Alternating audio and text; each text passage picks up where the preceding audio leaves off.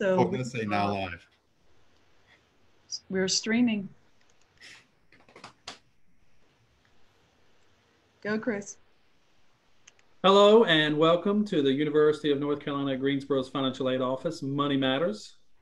My name is Dr. Chris Ratliff, and we're joined tonight by Deborah Tollefson, uh, the Director of Financial Aid, our Associate Director, John Lucas, and behind the scenes, we have Deborah Slade and Matthew Reese. We would like to spend the next hour addressing questions or concerns about financial aid and how that affects your student bill here at the university. Uh, let's get started. Now, you've received numerous important emails from the university, and just recently, you should have received one from our cashier's office regarding your bill for fall. So that's where we'll get started tonight. Deborah, can you explain a little bit about the bill and the financial aid cost of attendance? Yeah, I was going to jump right in on that. Thank you, Chris. Um, there's always a lot of confusion uh, initially about the estimated cost of attendance that we use uh, in the financial aid office to determine need and the actual bill, what you're going to be charged for. The estimated cost of attendance is just what it sounds like. It is an estimate of what it will cost um, for a a reasonable a reasonable cost to attend the university for the academic year, which is fall and spring. Um, there are certainly students that spend more than our estimated costs, and there are students who live on less than our estimated costs. But there are a number of categories uh, that you'll see in that. Even if you live off campus, we're going to estimate things like your room and board, how much you're going to spend on room and board, uh, transportation, personal and miscellaneous expenses, as well as tuition and fees and books and supplies, um, and those more direct costs.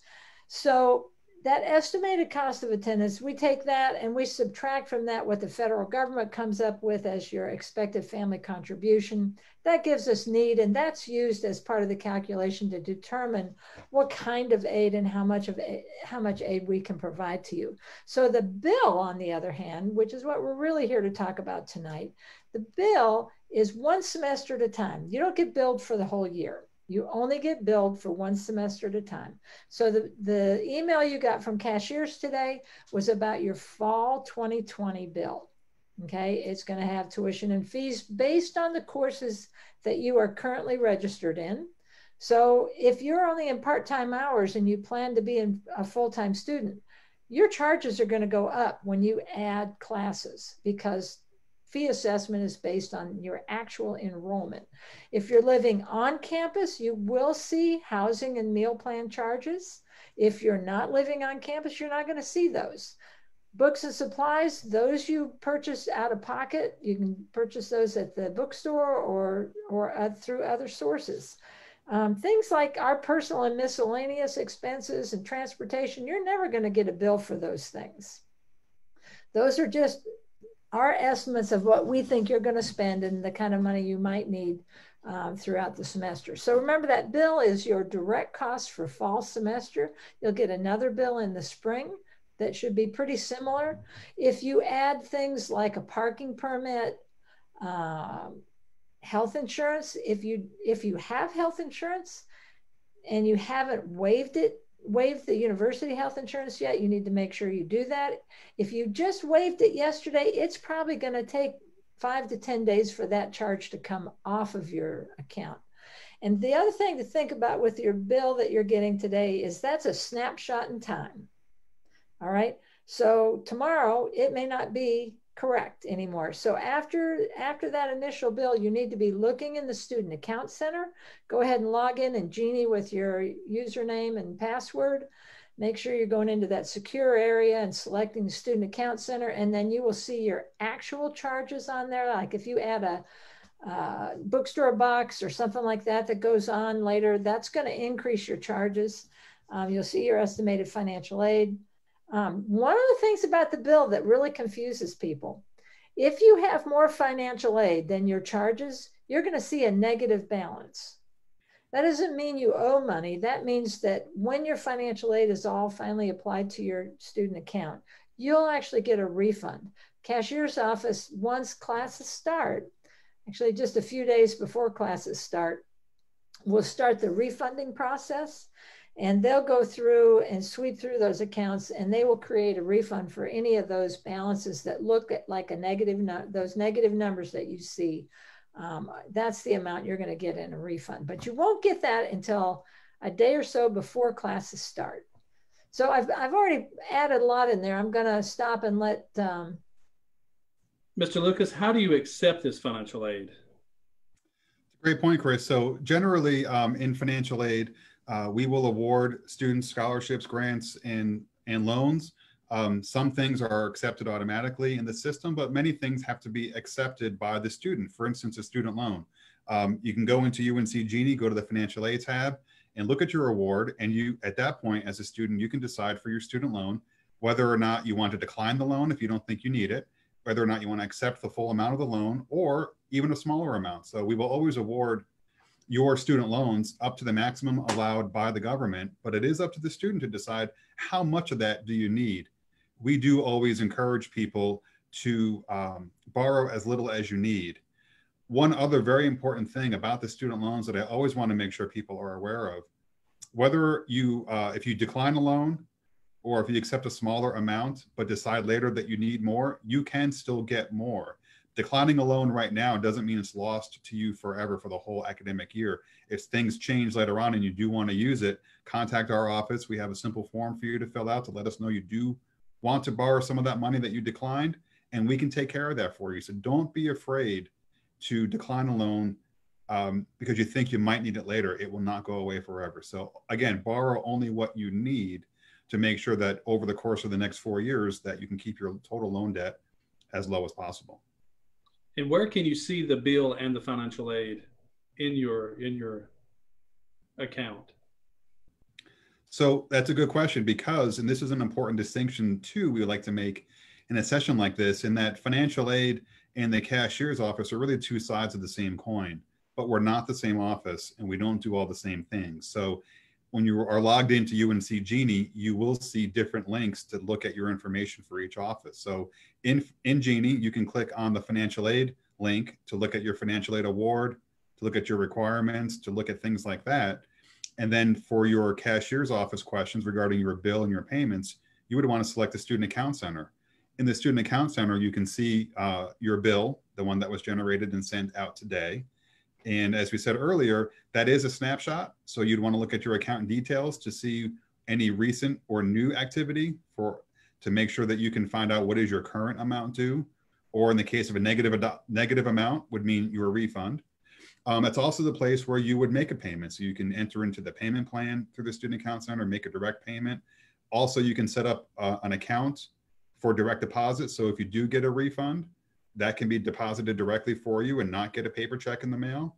Um, over 80% of our students do set up direct deposit, and we certainly encourage it. It's much easier to have the funds deposited into an account rather than getting a check and then having to make another step by going to the bank.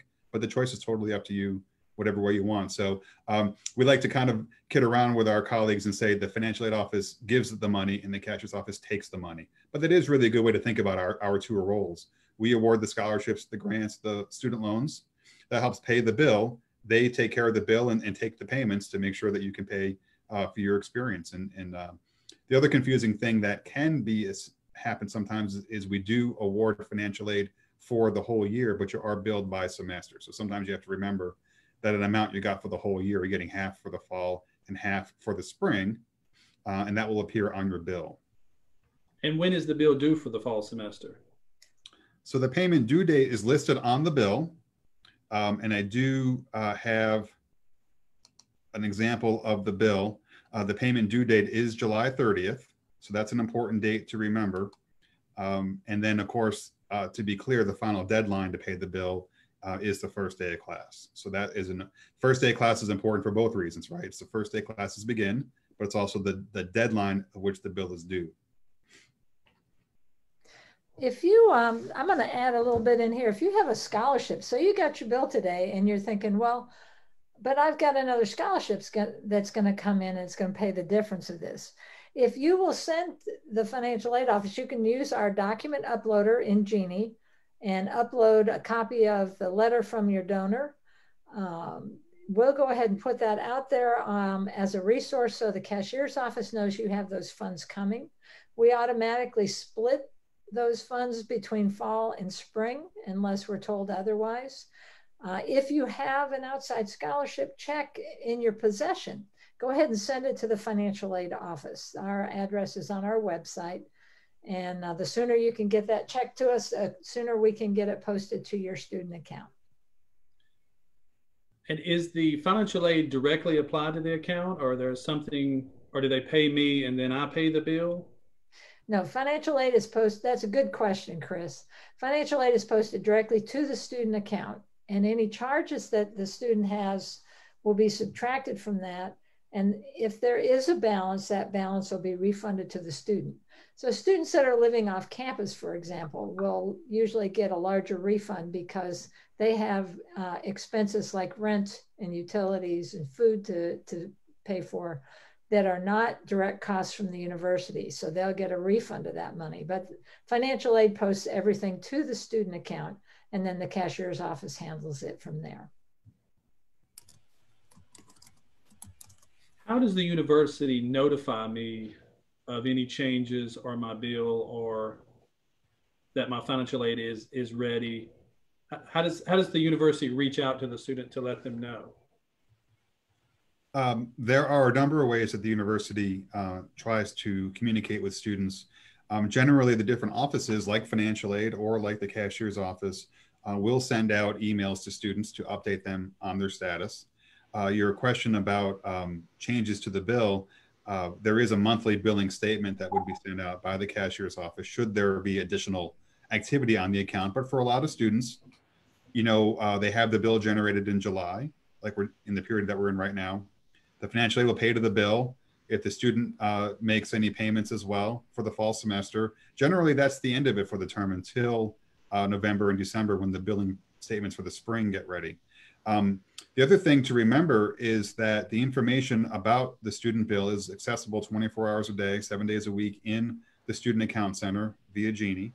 The financial aid information is available the same way, 24 hours a day, seven days a week through UNC Genie. So if a student ever has a question, um, and wants to look at it, doesn't matter if the office is closed, that information is available. And then even if there is a question from a student or a parent, uh, and even though the office is not open on the weekends or at night, you still can contact us. You can use our um, chatbot named Minnie to ask questions, to look for information, and she will guide you to different parts of the website with answers to your questions and provide answers, including sometimes video content to help that. Or you can always send an email to our general financial aid email account. It's it's finaid, F-I-N-A-I-D at uncg.edu. And staff will be answering those questions when we return to the office. So you don't have to even wait and remember to email us or call us Monday morning. Send the message in the email over the weekend. We'll get it on Monday and start answering those questions as quickly as we can. So we are we are available even when we're not. And then information in Genie is always available. And again, our chatbot Minnie, um, she never takes a break. She is available all the time. Um, and we do actually know from looking at the data in the chatbot that people do use her, ask her questions at all hours of the day. So we're really happy that she's part of the group because uh, we know that she's making a difference for people. When you have a question, um, someone is there to answer it for you. A big concern right now with our families, our students and their families, is being able to afford and pay the bill. So, is there a way for us to get more money for financial aid, or if we do have a bill, let's say for a thousand dollars are there options to make those payments? Well there are a couple of different options. Uh, we know everybody is this is a very challenging year. Uh, no question about that. There's a payment plan that the cashier's office has uh, that will allow you to split it up into five payments. I think that's um, available until july, july 16th 16th. Uh, after that, it'll be a four payment plan, uh, later on, even a three payment plan. But if you do that right away, it's a five, it's spread it out in five payments. We have parent plus loans, uh, parent loans for undergraduate students. And there's also a process called professional judgment, a request for a professional judgment. If you email us, uh, if you've had tremendous change in your family financial circumstances since the FAFSA was completed, uh, email us and we can send you that uh, the process um, that you need to to, to do in order to request a professional judgment. So there are a number of different things that you can do, but but the best thing is to email us about things like that, and we'll send you instructions. Um, oh, I lost my thought. Okay, today um, students received an email from the cashier's office regarding their bills for the fall semester. When is that bill due, and how did they pay for that bill? Okay, so I actually have a, a sample bill that I'm going to show on the screen. We can use to also um, help answer that question. So um, let me share that with the group here. So this is a sample of what the bill would look like. Maybe some folks who are watching this haven't yet seen the bill. Uh, the important information really is here in the blue in the blue box. These are the charges on a student account, and these are the normal charges a student would have based on the registration tuition and fees um, that are on there. And in this example, looking at the bottom here, a student is living on campus, so there's also a charge for their residence hall. Um, so the total amount of all their charges is here at the bottom is ten thousand two hundred fifty-three dollars and fifty-nine cents. Those are the charges for the fall semester. And then next to that in the yellow box is this example. This student has some financial aid, has some various scholarships and loans. These are listed on the part now, the bill is not color coded like this, mind you, but it's listed on the part under anticipated credits. So these are the financial aid funds that are available. And then down here in the bottom right in the red, um, they have taken the total charges, subtracted the financial aid that's available, and this is the bottom line amount that is due. This is what would be due by the July 30th deadline. I'm sorry, the July 30th payment due date. And then this is the amount we were mentioning before. This is the what a student would have to pay, and then how how would a student pay that? Well, that's kind of a loaded question. There's really two different kinds of answers to that. The, the mechanism of payment, a couple different ways a student can pay a bill. Again, through the Student Account Center, um, you can make a payment. A student or a family can use a credit card, but there is a, a fee to use a credit card. Um, there is also, uh, you can use a web check and pay through your checking account, and there's no fee for that. Um, students can mail in checks to the cashier's office, and they do accept in person payments. So um, those are the mechanisms with which a student would make a payment if they owed any money. Uh, and again, if the if this part in red down here was a negative amount due, that would be telling the student that there's more financial aid than there than there are charges, and that means that that financial aid would be refunded to the student for them to use for other expenses throughout the semester. So, buying their books and different supplies, or if they're living off campus, paying their landlord the rent and buying food and things like that. The other question about, you know, how do I pay? Meaning, hey, I have some amount due and I need to know um, what else is out there to help me make this payment. As we mentioned before, the two main sources that people will use to pay this is either using uh, really it's three sources. One is, of course, just paying out of pocket, um, using money um, from a savings account or things like that, or using a Parent Plus loan, which is a, a federal loan. It's like a student loan, but it's for parents. So that is a way for uh, people to have additional funds to help pay the bill. Or as we said before, using the payment plan, which would take that uh, amount due, divide it into five payments. There's a $35 fee to use a payment plan. But instead of making one lump sum payment all at one time, you can break that down into five payments, which makes it just a little bit uh, more easy to handle on our budgets by having uh, five payments rather than one large one.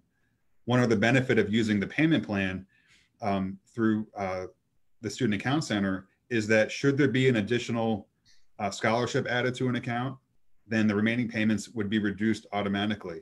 Or if you decided to make have another charge added to your account, say the bill you didn't have a, a parking permit added, you chose to do that later, then the rest of the payments would be adjusted upwards to account for that new charge. So it's very low maintenance because you don't have to then decide I want to pay more or less because of those changes. It figures it out for you automatically. So it's really, really convenient. And, and if I can, didn't mention this yes. before, uh, sorry, Chris, is that by being in the payment plan, you're not making all the payments by the due date, but being in the payment plan satisfies the obligation to pay. And a student's courses would not be canceled at the deadline, even though they've not yet made all the payments. So it's really convenient for that case. And you can view this in your UNC Genie account. Correct. By going into the Student Account Center. And this is an example before, we'll say it again just to make sure people are clear. Um, this example of, of, of the bill is a snapshot that was taken by the cashier's office. And any any activity that happened that happens today going forward is not represented in this um, piece of paper. It's like getting a bill in the mail, right? If you've made other payments, then it wouldn't be reflected on that piece of paper in your hand. Um, but by looking at the account details through the student account center, you can see the actual minute up to the minute uh, amount due, any charges, any payments, things like that. And I do want to address students that have not yet registered. Uh, we have a number of uh, sessions, our orientation program uh, for new and transfer students that will happen in August. So if you haven't registered yet, you're not going to get a bill yet. Uh, you won't get a bill, but once you register, cashier's office will do a fee assessment, and then you have to go look in the student account center to see what you owe and you know the difference between between what you owe and what your financial aid will cover. So if you have if you were not involved in SOAR or you're not a continuing student, uh, you're not going to get a, a SOAR prior to now. You won't get a bill that looks like this. You will need to go to the Student Account Center, log in with your ID and password, um, and check your bill and, and be sure that you, if you haven't registered yet, your, your bill will be due on the first day of class.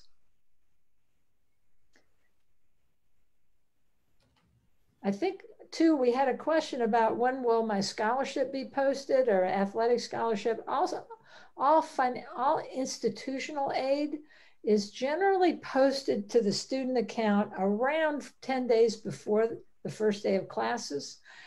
It takes the cashier's office probably seven days to process all that aid and determine if there are refunds that need to be created.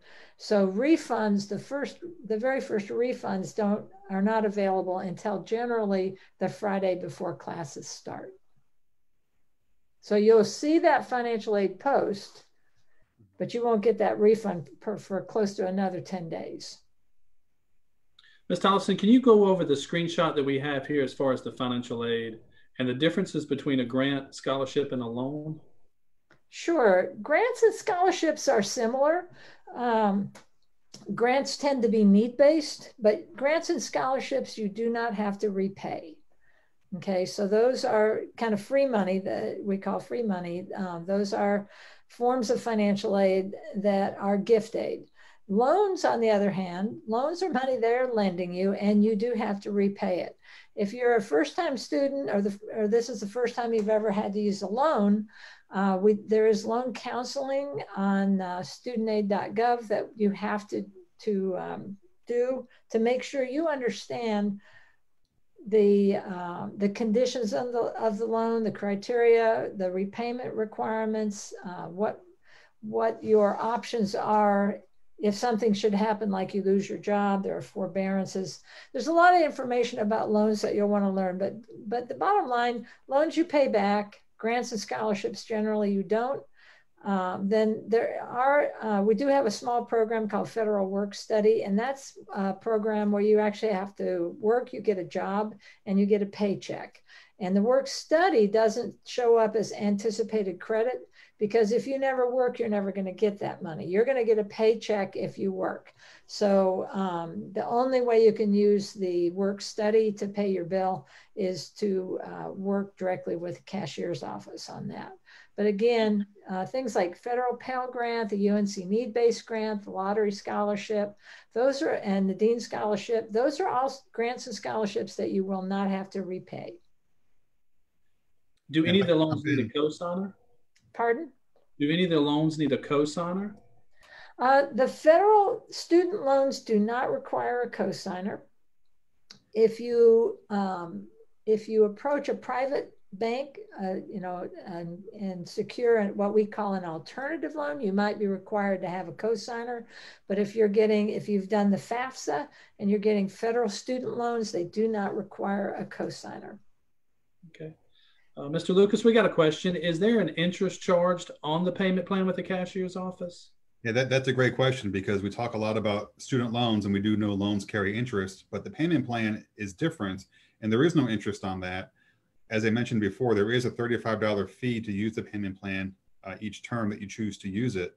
But the benefit to that is you pay the fee up front, but then it doesn't matter uh, after that, whether your charges increase or decrease, if you have extra payments or extra charges, and as I mentioned before, those remaining payments would be automatically updated, but there's no additional fees or interest for using it.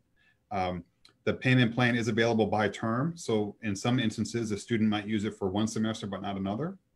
And that's okay. That's up to you. It's available if you want to use it. Um, that's a real advantage to this program too, because uh, there may be a semester where you need the help with the payment plan, but another semester where you don't, and you don't have to use it if you don't want to. So it is $35 uh, per term that you choose to use it, but no interest. So if I declined the loans for, let's say, the fall semester, and I wanted to use those loans that I declined for the spring semester, I still have access to those loans? That is correct. The benefit to the student loans is even if you choose not to use them initially and change your mind, they will be available later. So uh, that's really a flexible um, kind of uh, thing to have in your arsenal to use to pay the bill.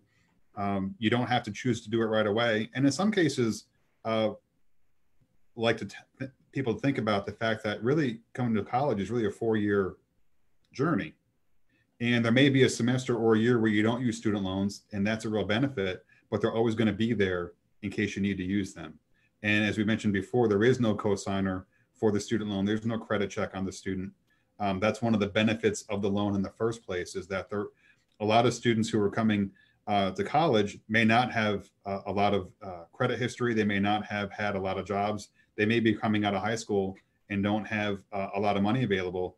And unlike a loan that you might get for a car or a mortgage for a home where they're going to look at your income and all that, the government says if you're in school, we're going to give you this money as a loan. It is a loan. There is interest on it. You do have to repay it. But it's nice to know that they are putting a lot of money out there for students to help them pay for school because they do recognize how important getting a college degree is in terms of uh, being able to get out there and start a career. I do want to mention a couple of things real quick, if I may. Um, it's really important for you to know that there is a lot of information on our website. Um, whoops, am I? Yeah, no, I'm talking. We have uh, all of our forms are out on our website. If you go to our website, John, can you bring our website yep. up? Can you share our website? Yep. Let There's me... a little section on the left-hand side, and forms is really important. So if you did decline your loans, for example, and you decide you want to take the loans out after all, there's a loan change request form that you can use. These things are really important right now, particularly because our office is not open to the public right now. The university is still pretty much closed. Uh, the building we are in remains locked during the day. Uh, our staff is working remotely. Um, now we are full service. We've been answering the phones all throughout the pandemic. We've been answering our emails. Um, so you can see uh, the forms there on the left. Uh, there's a lot of good information on our website. But yeah, there's forms. So, and then you would go to the 2021 forms and they're all listed out there. And so under loans, loans, very first one is that federal direct loan change form. So that's the form that you would click on, you can print that out, complete it, and then you can use our document uploader. And back on our main page in that same column where it showed forms is um, upload documents. It gives you directions on how to upload those documents. Um, yeah, see right there, upload documents. So you can find the directions on how to do that in UNC Genie. They're very detailed directions to make it easy. Um, uploading your documents is the best way to get something to us right now. It is not too late to apply for financial aid. Might be a little late for it to pay your bill, but we'll work with you. Uh, you might need to set up a payment plan, but as soon as we can get your FAFSA in and determine your eligibility, we'll create an award for you and provide you with uh, whatever financial aid you are eligible for. So you can still do your FAFSA. You can turn things in on document uploader. You can send us an email. We generally respond to our emails within 24 hours. Since the bills went out today, it might it might take us 48 hours this week. but but we really do check those emails quickly and respond to them as quickly as we can. We have our counselors on the phones, uh, and we are answering as many phone calls as we can. Uh, but you can't come into the office right now. But we are still full service like I said, and our website is is a tremendous resource. And if you if you're having trouble finding something, again, ask Minnie. She's down there in the bottom right hand corner. And she's happy to answer your questions and find things on our website and answer questions for you. Thank you. Yes, Minnie is a huge help for our office. And as we always say, she never takes a break. And um, it's information that we monitor very closely. So we, we, we're keeping her up to date as we know more about the changes of anything as far as the university and or federal financial aid. She is a hard worker. Yeah. I have a quick question about the um, about the transportation fees uh, what are the transportation fees for? So that, that's a great question. So as we mentioned earlier, the cost of attendance has uh, several components that are not actually billed to you on your bill from the cashier's office. And transportation um, is one of them. what does that really mean? Well, for instance, even if you live on campus, you still have to arrive from wherever you live to the campus. You might want to go home for a break. You might want to go home for a weekend.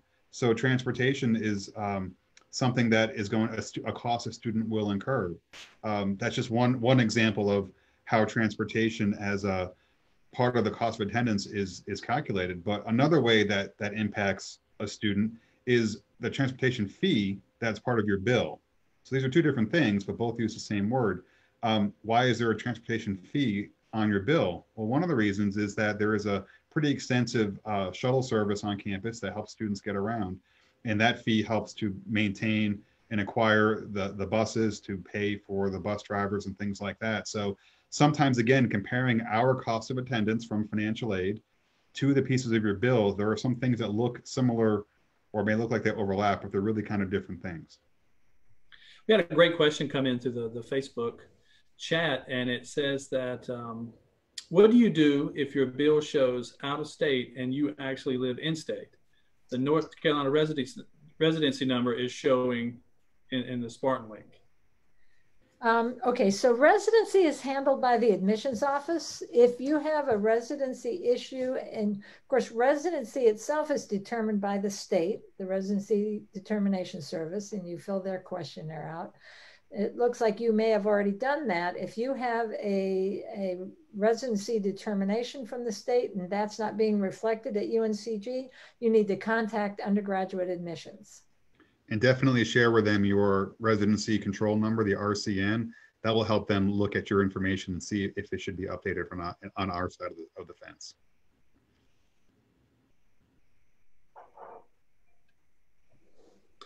earlier, Ms. Tollefson, you mentioned work study. How do you how how how is a student eligible for work study at, at the University of North Carolina Greensboro? Okay, so work study, federal work study is a small program to start with. It is a federally funded program, and you apply for it with the financial aid form. There are a lot more students who are who meet the criteria than we have money to fund. So at this point in time, if you have not already been awarded federal work study, it's doubtful that you would be able to secure it for next year. You can email us and, and at our FinAid at uncg.edu email and ask to be put on the waiting list for work study. But you can also contact the Student Employment Office and look at the student employment jobs that are available on campus because there are a lot more jobs on campus that are not federal work study than there are federal work study jobs. So um, not having work study doesn't mean you can't work on campus. We also got another question that said, if my daughter lives off campus and takes out the federal subsidized and unsubsidized loans to pay for the, I guess, off, off campus living, and then they get a scholarship check, does that affect the financial aid amount or refund? How does that affect the account? Great question. Uh, I, I, chuckle because a lot of the questions that we get in the financial aid world, the answer is it depends. It depends on a lot of factors that are difficult to um, talk about in a general question. Um, it, it doesn't have to affect anything. It could just be an additional payment to the student account. However, um, we did mention this cost of attendance. It keeps cropping up again. Um, that is the the total amount of aid a student can have for the year. And should they be in a situation where they do have a lot of aid and they're at that limit, an additional scholarship could mean a reduction in another part of your, of your financial aid to keep you within that cost of attendance. Generally, what that would mean is for a student, would be getting a scholarship and having some of their student loan reduced to fit them under that that federal limit. Um, but that doesn't happen all the time, so it's really hard to say for sure. But I think the fact that the answer to the most questions is it depends means if you do have that question specifically, you should contact our office, whether it's by email or calling us on the phone, uh, letting us look at your individual account to see uh, how would it affect your situation directly, because the answer is never going to be the same for, for everybody. And we will always make a decision that is in the student's best interest. So if we do have to reduce something, it will always be loans first because they have to repay the loan and we'll let them keep those scholarships that they don't have to repay. Correct.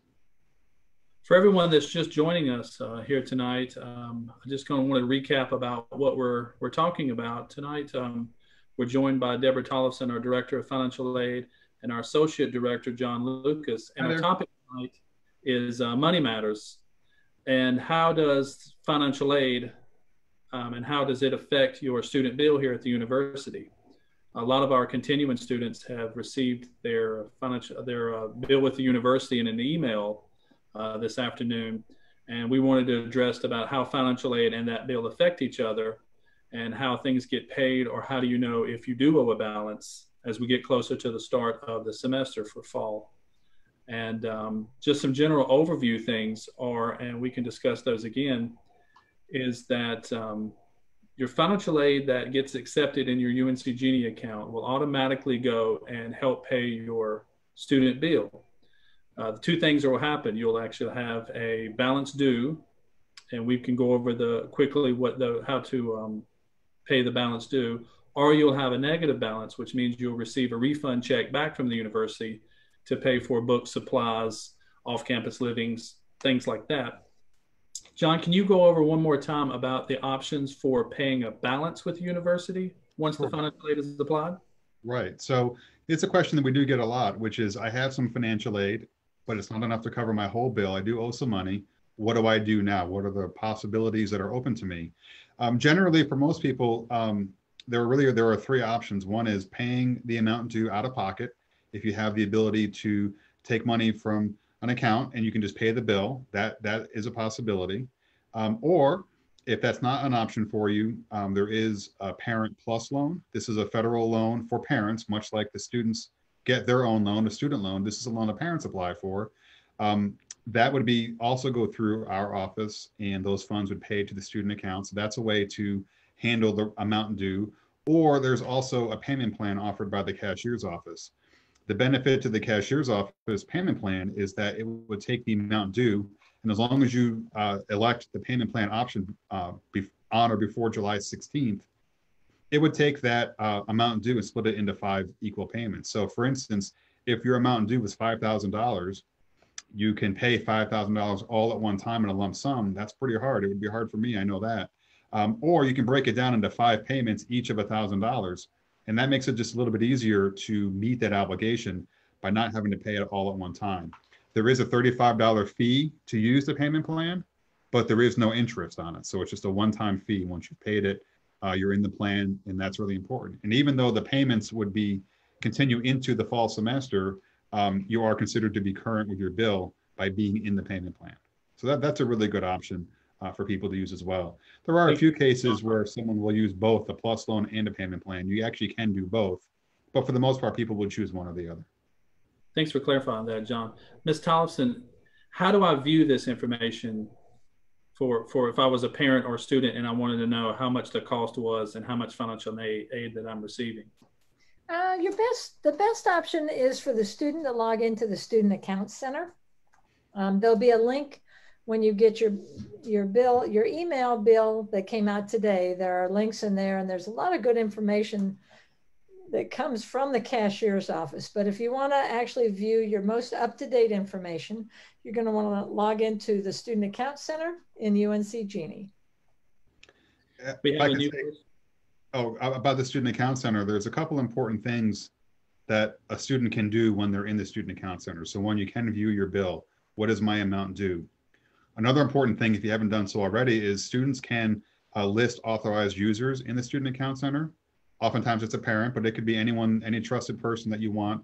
And that person would also get notified when, when the bill comes out. They would also be able to look and see what the amount is and make payments in the student account center for the bill. So that can be really helpful because then the student and someone else is getting the information. Another important thing about uh, the student account center is setting up a, a, a bank account, one for direct deposit. So anytime there's a refund, you would get a direct deposit rather than a check mailed to a local address. But also, if you set up a, an account to pay the bill, those can be stored in the student account center. So you don't have to always do it every time. It would remain there and you could select that, that method of payment in a future term to make the payments as well. So there's a lot of, a lot of great things you can do in there to set yourself up for success in terms of making sure you know what the amount due is, making sure you know when it's due, making sure that you uh, have a way to pay the bill, or in the case of a refund, have it get to you right away. Because having that refund is how you will pay for your rent if you're living off campus. It's how you'll buy your books and things like that. So getting that money to you efficiently is really important part of the process. Thank you for clarifying that. We also have a good question from, uh, it says that um, here in Guilford County, we have the Say Yes. And a lot of our students and families are participating in the Say Yes scholarship. And they're wondering why it's not showing up on the bill just yet. Well, I can I can tell you why it's not there just yet. Uh, there is a um, uh, a lot of our students do get uh, some money from the Say Yes organization, and we do work pretty closely with them to make sure that uh, that can be as smooth as possible for our students. Uh, we we are waiting for them to send us information about the students who are getting uh, this money. We do not yet have it, so we don't know who it is or, or, how much. So we are a little bit at their mercy to wait for them to get it to us, but they will. Um, they will get it to us. Uh, we will provide them whatever information that we need to to make that happen, and we'll get it posted to students' uh, accounts as quickly as we can. Unfortunately, um, it's a good example of what we would call an outside scholarship, meaning it's not outside of our process. It's not federal financial aid. It's not aid from the state or from UNCG directly. So we are uh, unfortunately have to wait for them to get it to us. But um, they do, uh, like I said before, they do award a lot of students on campus uh, every year. So um, we work with them as closely as we can to make sure that the process is as smooth as it can be for our students. We've got about 15 minutes left before seven o'clock. And um, given the amount of, of, of, expertise that both of you have, if you had to give, and I'll start with you, Ms. Tollefson, if you had to give students and parents five top things or best advice that you would give a student or parent in attending a university as far as financial aid and the bill, what would those top five things be? Don't forget to file your FAFSA every year. Uh, you have to do the FAFSA every year. It's available in October of each year for the next academic year. So, you know, we do often see people that file it early the first year and then late every time after that. Uh, there is limitations on the on particularly state and institutional aid. And so the earlier you can get that FAFSA filed each year, the better. Once you file FAFSA, keep in touch with the school. At UNCG, uh, everything is everything you'd want to know about your financial aid application is in UNC Genie. So you can check Genie for, for additional requirements that we need, get those requirements to us quickly. Um, or if everything's there, we'll tell you that. Use our uploader. If you're going to submit documents, use the uploader. It, it is the most secure, safest, sure way to get things to us quickly, and we can process them quickly. Uh, I think that's about four things. Uh, well, I'll jump in and, and let okay. you think. Which is great advice. All of those are great advice. Exactly. I think that one important thing is that uh, dealing with uh, students or parents over the years, sometimes there's a disconnect between those two entities where a student will say, I don't know what happened. My, my mom handles that. Or a parent will say, uh, I let the student handle that, but they didn't, they didn't follow through on it. Um, acting independently without the other side of that coin is difficult because uh, the other side doesn't know what they're doing. So students, if you do want your parents to help you through this process, make sure you are including them um, by adding them as a user in the student account center. Make sure you are sending them emails that you get from our office that's maybe asking you to do something or explaining something if you're not sure what it is. Ask your parents for help. Parents, if you're seeing these things, don't just do them for your student. Um, and so your student does not know um, that it's being done because when they call us to ask a question and we'll say, Did you do this or has that happened? And they say, I don't know. It's hard for us to help them. So be a team, help each other out because it really can be a lot of information, especially for a new student between registering for courses, coming to doing SOAR, having financial aid, learning about a bill. That's a lot of information. So, you know, do it together as a team. Uh, don't act solo because then it's difficult for the other person to help. So that's a really important thing. The other thing I mentioned earlier, which I think is really critically important, is that while we do award student loans and we do award the maximum allowed by the government for your grade level, it doesn't mean that you have to take all that money. If you decline your student loan and change your mind later, you can still get it. If you borrow a smaller amount than your maximum and find out later that you, that you want to use more, you still can. You're not making a decision now that is set in stone. So if you think right now, I don't need to borrow the money. What if I do need it? I should just take it all. Well, don't do that. Decline the money. If you do need student loans later, you can still get them. So it's okay for you to um, try to do as little as you can because our advice is always to borrow as little as you need. Um, paying the bill for one semester or one year is one thing, but you'll be in school for four years. So it's important to think about how that student loan money can add up from, from year to year. It is there to assist you. It's there to help you. It's there if you need it uh, but it's important to not borrow it all just because it's what's offered to you. Uh, you may not need it from one semester or another. Don't use it. My advice would be that um, early bird gets the worm. Mm-hmm. Um, that's so true in everything that you're going to do here at the university. The sooner you do something, the earlier you do something, that lowers the risk, the anything that, that needs to be communicated between them. Also know that um, our office especially i'll only speak of our office is is we have a full office a full team that is working eight hours a day to answer questions. So don't hesitate to ask questions. Um, don't ever assume anything because we have to play by these very strict deadlines that are some of our our own deadlines some are across the university. And then once we hit these deadlines it's really hard to say i didn't know or i didn't understand once that deadline is passed, we, we may not be able to help you past that point. So if you have any questions or concerns, definitely reach out. That is true in the staff of UNCG. It'll also be true in your faculty in UNCG. If you're having trouble in your classes or anything like that, reach out to the professor. This is what they get paid to do. And the more you let people know your concerns and questions, the more people can help you with those. Um, I really want to thank our panel tonight. Um, I appreciate your wisdom and uh, what you're doing to help our families uh, across the university. Um, just know that we are available via email and phone call. Minnie is available 24 hours a day on our website. And uh, uploading your documents, Ms. Thompson is absolutely correct. That lowers the risk of us losing a document or not knowing what the document is for or for whom. So that goes into your account directly. This is our busiest time of the year, so you're going to have to expect some delays in every communication that you're going to uh, do across campus. Um, understand too that once the bill is paid and the financial aid is applied, you don't need us that much longer, and then we have plenty of time to answer questions. The bill is also that you're seeing is off for one semester. So assuming that the spring semester is going to be the same amount that you're going to owe. So don't let that be a surprise to you in January. Uh, is anything else you guys would like to offer before we sign off for the night? Uh, I, I, think for me, it's kind of saying about early bird gets the worm. Um, we can handle and get your aid awarded well ahead of the start of, of the school year. Um, we can have everything in place well in advance. So that way, when the semester starts, all you have to worry about is going to class. All you have to worry about is getting involved in activities. You don't have to worry about this stuff anymore. And we have the ability to do that well ahead of time. So it's important to pay attention to uh, the timelines, pay attention to our messages, because a lot of students, um, especially continuing students, they can be awarded months in advance and, and, and put us on autopilot. And that's really great. You don't have, we don't want you to worry about us. We don't want you to worry about your bill. We want you to worry about going to class. We want you to worry about having fun. We want you to worry about becoming involved in UNCG because that that's where that's where it's at right there. Um, like Chris said, we, we are here uh, every day we are answering questions. We are processing forms. We are doing everything we can to make this happen for you as quickly as possible, as smoothly as possible.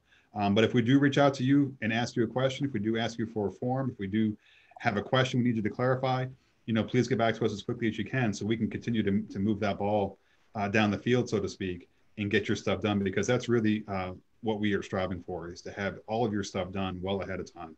And we can do that. Once again, when is the bill for fall due? So two important dates to think about, and it's important to, to, to hear this, the distinction. The payment due date listed on your bill is July 30th. The actual payment deadline to pay is the first day of, of, of class, August 18th. So um, if you can aim to have everything covered by the 30th, it gets gets to what I was just saying about having everything in place and not have to worry about any of these details when you're moving into your residence hall or starting classes and all that. But the actual payment deadline, the point at which if you don't pay, your courses will be canceled, is the first day of class, August 18th. Yeah, you can worry about the first day of class and trying to find a place to park. That's your stress, not paying your bill. Correct. On the day that it's due. We do have one more question that came in here. We do have a little bit of time. It says, how do we find the other scholarships that were sent in the to the school in the UNCG app? And I'm not sure how to answer that one. I'm not sure what that means. Well, I think if you're talking about a scholarship that maybe that you got from your high school or from a local civic group that was sent to us, um, how that works is we do uh, put that into the financial aid system as an outside resource and the check is then sent to the cashier's office to be processed as a payment on your account. And you will see that payment on your account in the student account center in the account details. So if you had, for instance, say a Kiwanis Club scholarship, um, it would say Kiwanis Club scholarship and the amount of that fall payment. So if we had a check for a thousand dollars, 500 for fall, that's what you will see. Even though we got a check for a thousand dollars, uh, half of that was applied to the fall. The other half is held for the spring semester. When you get your spring bill, you will see that as, as a credit or a payment for the spring, that $500. So it would be listed in the account details. Um, so that's one way you can, you can check. It's also going to be um, on our side of the fence uh, as a scholarship, outside scholarship posted uh, that way. But it's really when it hits the student account as a payment, that's really what you want to see because that means that we've processed it in our office and then we send it to the cashier's office and they've processed it and now it's a payment on your account and that's that's going to lower your amount due.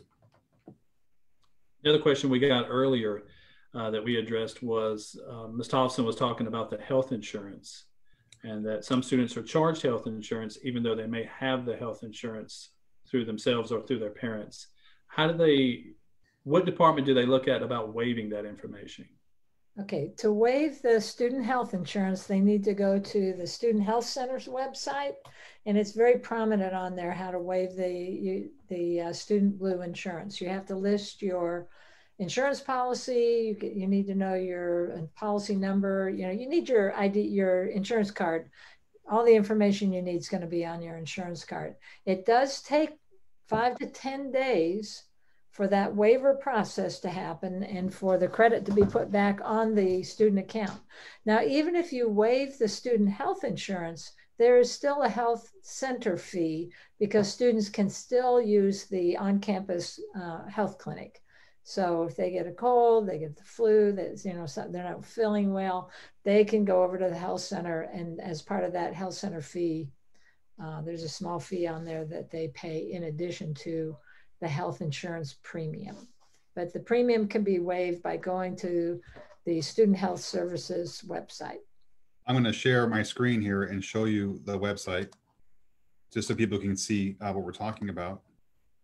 This is the um, student health website at UNCG under student insurance. And if I scroll down here, you will see two options to either uh, enroll in a health student uh, health plan if you were to need it, or if you have your own health insurance already, you would select the waive out of this and select this link and uh, fill in the information. And as uh, we just said, um, once it's confirmed that you have your own health insurance, uh, student health will then contact the cashier's office and the health insurance charge will, will be removed. It is really important though that you remember to do this because looking at the top here, there is a deadline to verify your health insurance. That is September 10th if you have health in, your own health insurance and you don't waive out of this coverage, it will be permanent for the whole semester. It cannot be removed after that fact. The health insurance is is uh, is is a is pricey. Health insurance is expensive, and we don't want you to have to pay twice for something that you already have. So definitely waive out of it. Uh, but at the same time, if you don't have any health insurance, enrolling in it will be really important. It is a requirement, state requirement to have health insurance, so it is required for you to have it. Um, And uh, it is also, as Talia said, uh, the Student Health Center, separately from having insurance or who was your insurance provider, they do offer services that are covered under your um, health center fees that you pay as part of the mandatory fees. Before we leave, I do want to thank Matthew Reese. He's one of our counselors who has uh, been answering questions on Facebook, and Deborah Slade, who's an assistant director, who's been managing this whole uh, uh, live Facebook feed. We couldn't do it without them, that's for sure. Well, I just wanted to thank everybody. Chris, you did a great job as host. Tolly, John, thank you. Matthew, you've been great on the comments on the Facebook post. And I just wanted to remind everybody, yeah, that um, all the most of the information that we've discussed here tonight can be found um, on one of the pages on our website. Matthew's going to put that in the comment section for you. But um, John, if you can share that. Um, oh, wait a second. Like, yeah, just share that on the screen so they can see what that looks like. Um, newly created page, just some information to help you get started for this semester. So again, we thank you for joining us and I'm gonna turn it back over to our host to um, lead us out. Here's the uh, page with the information that will at least get you in the right direction, at least answer some quick questions. Um, as we said before, any page you go to of ours is going to have Minnie down at the bottom to help guide you as well if you have some quick questions. Um, if you want to know too about how to budget and pay for it, there's a little bit of a, a graphic down there. If you'll scroll down just a little bit more, John. I'm sorry, here we go. For all our visual learners, um, we were talking earlier, and uh, Tali also suggested that one thing you're going to have to learn in school is you're going to learn how to budget, and you're going to have to learn what what is due and how much you have to pay it and ways that you're going to have to figure out how to pay it. Uh, that is part of the learning experience of attending a university. So that's, I really do. Yeah, and Chris, that's so important, especially this fall. We have a number of students who are considering and opting to to live off campus that might have normally lived on campus. And I, you know, I, I go back to you just need to do one of those old fashioned budgets. You put make a column on the left of a sheet of paper that's all the expenses that you have, and a column on the right side that are all your resources. If the left side adds up to more than the right side, you got to figure out another way to get some more things on the right side. It might be a part time job. Uh, it might be help from family members. It might be uh, your own personal savings as a student. So uh, budgets, like you said, are, are really critical if you're living off campus. Okay, thank you very much for joining us tonight. Um, if you do have any additional questions or information you would like to know more about, you can always email the office or give us a call. You can always ask Minnie first, which would be my first step to see how she answers the questions. And if you need further clarification, then definitely reach out to us. As I said before, this is our busiest time of the year, so do expect delays on information getting back to you, but do know that we are here and we have been here answering questions all summer. And we want to thank you very much for your time tonight. Thank you. Good night. Thank you. Bye bye.